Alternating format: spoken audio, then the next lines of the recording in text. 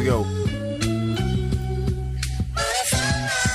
Dear winter is in here. Can't say that I missed you. Matter of fact, you're the reason me and Summer's relationship's distant.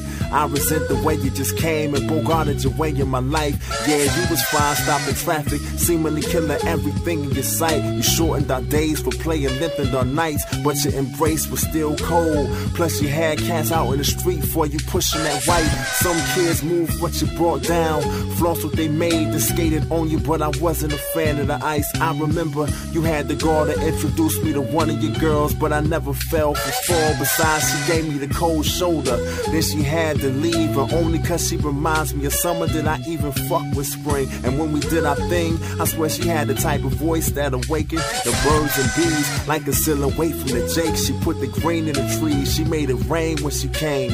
But a player still double pumped to finish this game. It was always a different ending, we never finished the same. I'll admit, yo, she was influential, had everyone toning their frames and changing clothes like Jay's wardrobe, saying the name. I'll be honest, I did more than just kiss her, but my confession is that I'm really head over heels for a sister. We just dated for the semester. When we parted, I missed her, but she knew the drill. When time came, she brought summer through and we switched up. Dear winter. Yeah, man, you know what I'm saying? I ain't gonna front. This song ain't about no no women or nothing like that. I just fucking hate snow.